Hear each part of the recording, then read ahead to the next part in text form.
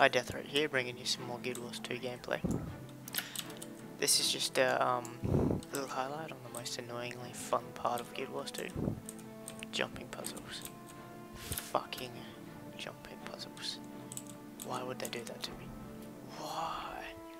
Anyway, it was fun recording this, and I shall see you in the next video.